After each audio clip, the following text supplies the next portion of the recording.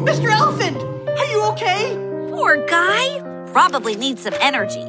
Oh, really, Gretch? Hasn't that elephant suffered enough? wow,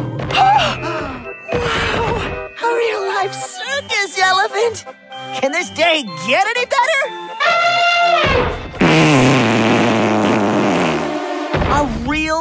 Live circus elephant with an epic talent for farting? Awesome! Me and this farting elephant were made for each other. Hey, keep your trunk to yourself. Nope. Gretch? It likes Gretch instead of me? Huh. It must have got knocked in the head from the crash. Uh, still no.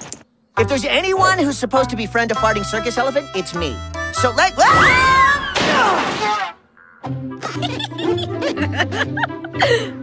He's called Floppy. What a great showbiz name. Shouldn't we at least try to find Floppy's owner? I guess so. But I can't stand to think of this majestic beast being forced to perform in a circus.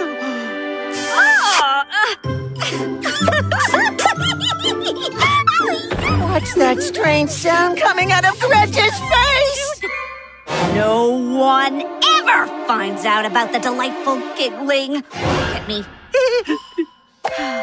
we should probably take him back to Lake Bottom, where it's safe.